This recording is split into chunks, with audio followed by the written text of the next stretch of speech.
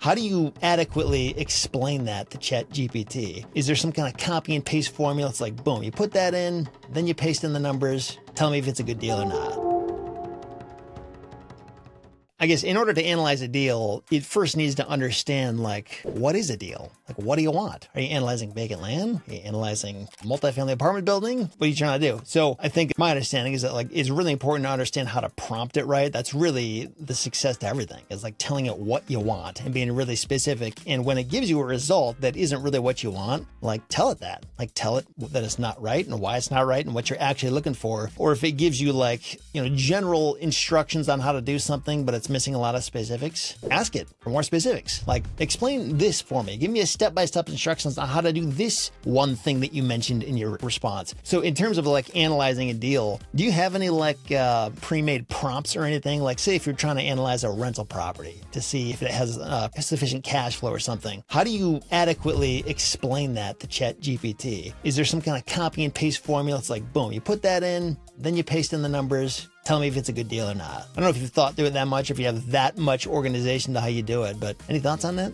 Yeah, that's a great question, Seth. You know, for me, I haven't necessarily come up with a specific prompt, and the reason why is because ChatGPT will fill in the blanks to a certain extent, right? If you tell it explicitly what you want as an outcome, you're like, all right, I'm looking for an investment property that has three bedrooms, two bath. I want to put down 20%, and I want to be able to cash flow at least three to four hundred dollars every single month after principal, interest, and tax, then it's to spit out something very specific based on what you ask. Now, if you don't know to ask it that specifically, right? Maybe you're a new investor and you don't even know to think about principal, interest payments, and debt service and taxes, right? Or insurance, right? Then it's to say, all right, well, here's the general numbers, but have you considered the principal payments and the interest and the taxes and all those things? And then you're like, oh, okay, let me go find that, right? Or if you're not familiar with the term, you can be like, what's this principal interest thing? And then they're like, okay, well, this is your mortgage, right? And this is what you're going to have to pay, you know, on a monthly basis. And so you want to factor this into your monthly cash flow. So that's why the great thing about ChatGPT is that it will prompt you if you're asking the right things. If you're thinking about what your outcome is, and then you're asking it more and more questions, it'll interact with you in that regard. And so that's why it's so powerful. This is why the AI is so powerful, is because it's able to interact with you dynamically versus us having to just, you know, program it explicitly.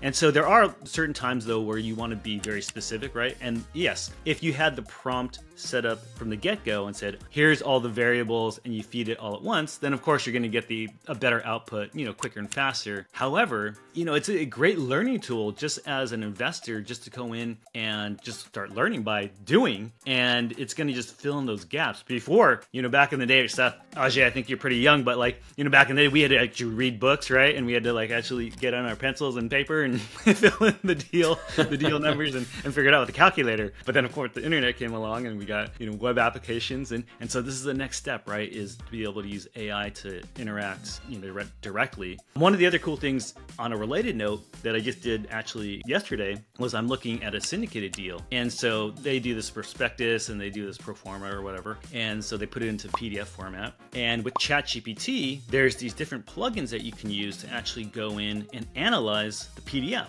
so for example i said okay here's the link to the pdf i want you to give me the summary of this entire deal and explain it to me on a very basic level. So it goes in, it gives me the highlights of the deal, everything I'm looking at, shows me the equity split. But the great thing about that is like, if some of that is not very familiar to you, you can be like, well, you know, explain to me the equity split, right? And it starts educating you on what that looks like and how it usually is broken out and different things. And so again, as an investor, the more information we have, the better, you know, educated decisions we can make and the more likelihood that we're going to get, you know, a decent return over time. So yeah, being able to use this AI is just really changing the game in terms of educating ourselves, of getting back quality information, and then ultimately being able to get to a decision faster so that we can execute quicker than, you know, everyone else.